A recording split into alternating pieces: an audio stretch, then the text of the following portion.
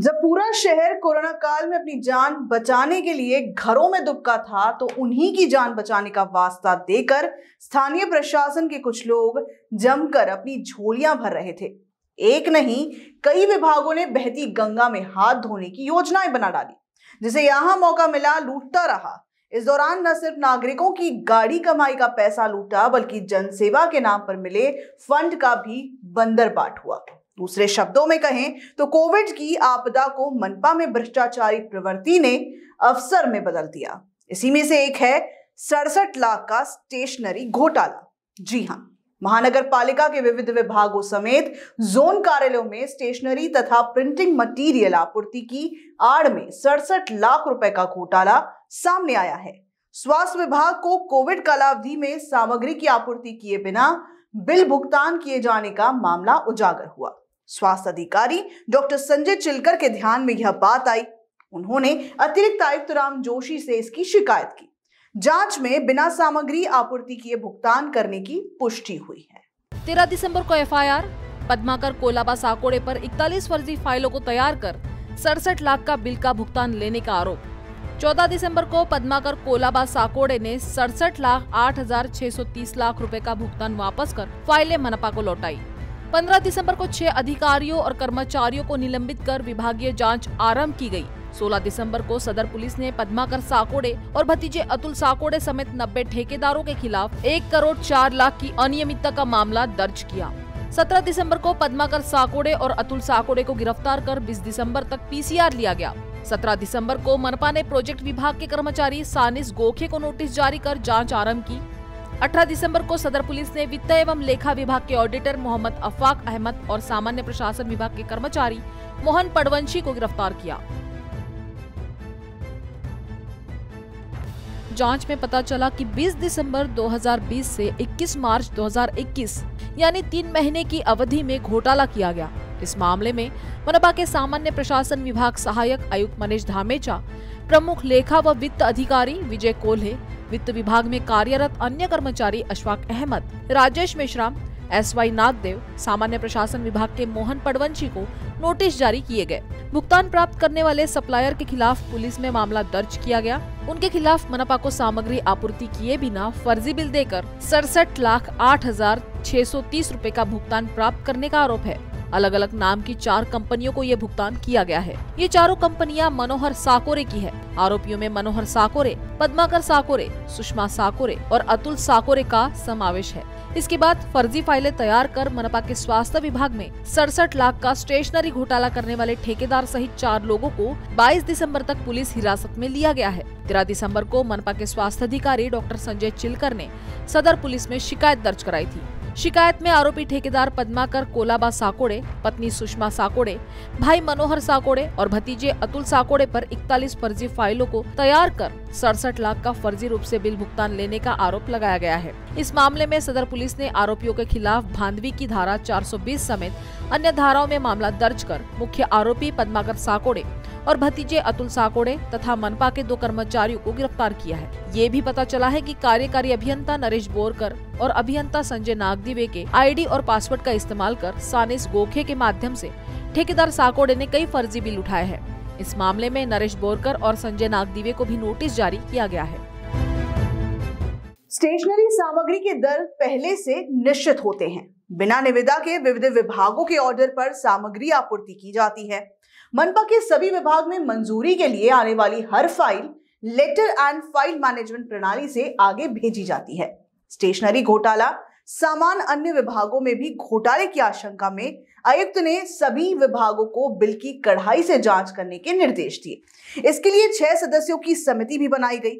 समिति में अतिरिक्त आयुक्त दीपक कुमार, मीणा के अलावा अतिरिक्त आयुक्त राम जोशी, उपायुक्त रविंद्र भेरावे, कर विभाग के उपायुक्त मिलिंद बेशराम श्वेता बनर्जी का समावेश है। जाँच समिति इन विभागों में 1 जनवरी 2021 से अब तक के तीन लाख तक और इससे अधिक राशि के सभी बिलों की जाँच कर रही है।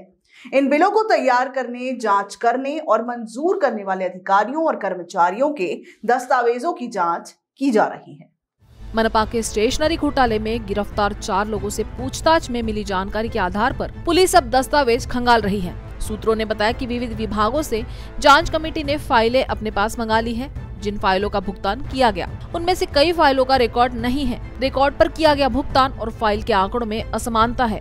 किसी काम पर तीन लाख से कम खर्च रहने पर बिना निविदा निकाले फ़ाइल मंजूर की जाती है। इस प्रक्रिया में सामग्री की बिना सप्लाई किए करोड़ों रुपए का घोटाला सामने आने पर मनपा में हड़कंप मच गया है। सामने आए घोटाले में सबक लेकर सभी विभागों में तीन लाख से कम खर्च की गई फाइलों की जाँच शुरू कर दी गई है। आयुक्त तो राधाकृष्णन बी ने कहा है कि जाँच में दोषी पाए जाने वाले किसी को बख्शा नहीं जाएगा।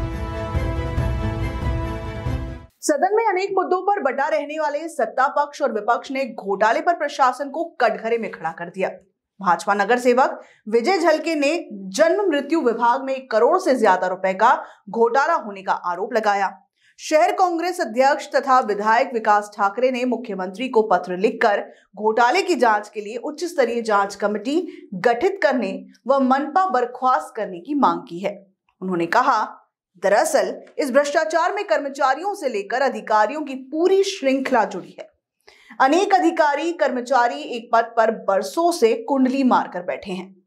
भ्रष्टाचार को बढ़ावा मिलने का यह भी एक कारण है। नियम अवधि में उनका तबादला होना चाहिए। उन्होंने कहा कि कोविड काल में प्रशासन स्तर पर कामकाज चल रहा था। एनडीआरएफ से आपदा प्रबंधन निधि मिली।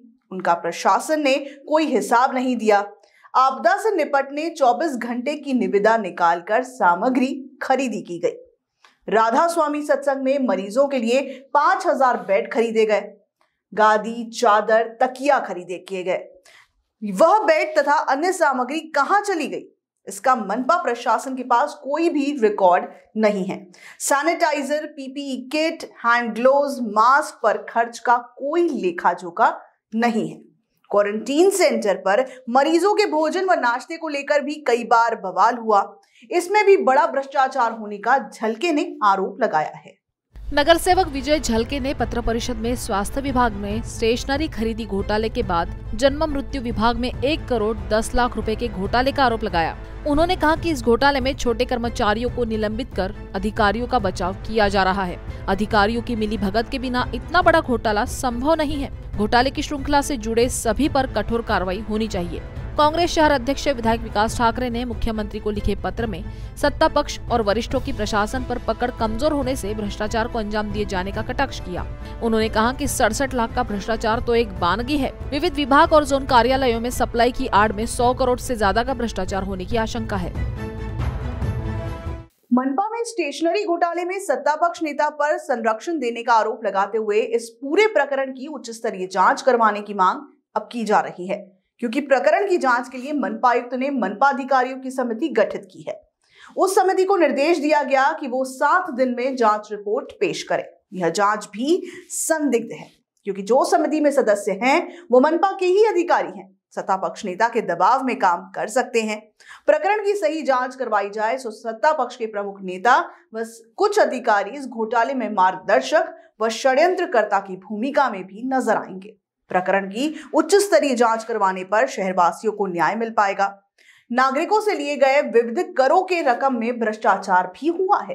भ्रष्टाचार में लिप्त चाहे कोई बड़ा अधिकारी हो या फिर कोई बड़ा नेता, सभी पर कड़ी कार्रवाई होनी चाहिए। इसके बाद प्रकरण की गूंज विधानसभा में भी सुनाई दी। कांग्रेस के विधायक विकास ठाकरे ने उच्च स्तरीय समिति गठित कराने की मांग के साथ ही मनपा को बर्खास्त करने का निवेदन मुख्यमंत्री उद्धव ठाकरे से किया है। यह आपूर्ति केवल मनपा मुख्यालय की है। मनपा में 10 जोन है। वहाँ भी बड़े स्तर पर स्टेशनरी खरीदी की जाती है। याद रहे, इससे पहले मनपा में खेल घोटाला चर्चा में था। नंदलाल कमेटी के माध्यम से जाँच कराई गई थी। उस दौरान नगर सेवकों को जेल यात्रा भी करनी पड़ी थी। आरोप है कि 15 वर्ष तक सत्ता में रहते हुए भाजपा के कुछ नेताओं ने ठेकेदार के साथ मिलकर भ्रष्टाचार को संरक्षण दिया है। विधायक ठाकरे मनपा में महापौर भी रहे वे मनपा की बस संचालन सेवा के बारे में भी सवाल उठाते रहे हैं। दावा किया जा रहा है कि इस प्रकरण को लेकर कांग्रेस मनपा चुनाव में भाजपा के विरोध में कैंपेन करेगी। इस बीच सदर पुलिस ने इसकी जाँच आर्थिक अपराध शाखा अर्थात ईओडब्ल्यू को सौंप दी है। जाँच की ज़िम्मेदारी मिलते ही ईओडब्ल्यू ने इसके लिए विशेष टीम का गठन कर जाँच शुरू कर दी है। इसीलिए मनपा अधिकारियों की धड़कनें अब बढ़ गई हैं। माना जा रहा है कि इस घोटाले में मनपा के कई बड़े अधिकारी लपेटे में भी आ सकते हैं। मनपा में खेल सामग्री घोटाले के बाद स्टेशनरी घोटाला सबसे बड़ा माना जा रहा है। प्राथमिक स्तर पर ही इसे करोड़ों में आंका जा रहा है। फ़िलहाल इसकी कड़ियाँ जोड़ने का काम शुरू है। जाँच की, तह तक जाने के लिए मनपा ने कुछ दस्तावेजों की दरकार की है। मनपा प्रशासन का पुलिस को जाँच में सहयोग नहीं मिल रहा। जाँच आर्थिक अपराध शाखा के सुपुर्द किए जाने से बड़े अधिकारियों तक जाँच की आँच पहुँचने के कयास लगाए जा रहे हैं। इसीलिए अधिकारियों को बचाने के लिए मनपा प्रशासन आर्थिक अपराध शाखा को दस्तावेज़ देने में खतरा रही है। एक और बवाल। कांग्रेस नगर सेवक संदीप सहारे ने साल 2017 में बाज़ार मूल्य से चार से आठ गुना ज़्यादा दाम पर विभिन्न सामग्री खरीदी किए जाने का बड़ा खुलासा किया। सूचना का अधिकार अंतर्गत प्राप्त जानकारी को उन्होंने पत्र परिषद के माध्यम से साझा किया। मनपा ने चार फीट के 40 लीटर का एग्जॉस्ट कूलर उनसाठ हज़ार में खरीदी किया था। उसी कूलर का बाज़ार मूल्य आठ हज़ार चौबीस रूपए था। 120 लीटर का एग्जॉस्ट कूलर मनपा ने उनस्सी हज़ार में खरीदा। उस समय उसका बाज़ार मूल्य आठ हज़ार चार सौ छियानवे रूपए था। ऐसे विविध चौदह प्रकार की सामग्री बाज़ार मूल्य से कई गुना ज़्यादा दाम में खरीदी की गई। कि सामग्री पर कितना खर्च किया गया है, इसकी उन्हें जानकारी नहीं दी गई। 13 जुलाई 2017 से 9 अक्टूबर 2017 के बीच ये सामग्री खरीदी की गई है। साफ़ है कि हमारे रखवालों की ही नीयत साफ़ नहीं है। ऐसे चेहरे बेनकाब होने चाहिए। उन्हें सलाखों के पीछे भेजा जाना चाहिए। उनसे पूरी वसूली की जाए। उनकी सेवा लाभ को भी रोका जाए। अन्यथा इस तरह के घोटाले और भी होते रहेंगे।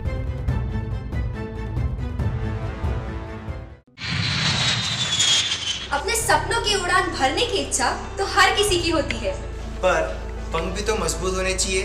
जो देता है Flywheel aviation academy Flywheel aviation academy एक ऐसा इंस्टीट्यूट है जहाँ पर एयरलाइंस एंड एयरपोर्ट हॉस्पिटैलिटी और टूरिज़्म मैनेजमेंट साथ ही यहाँ campus interview guidance by industry expert practical training at airport expert faculty personal grooming जैसे कई सारे बेनिफिट आप पा सकते हैं। Flywheel aviation academy one degree three job opportunities Flywheel aviation academy gives you a degree or diploma with a job. Flywheel Aviation Academy, 365 Gandhi Nagar, LAD College Square, beside Karnataka Bank, Nagpur.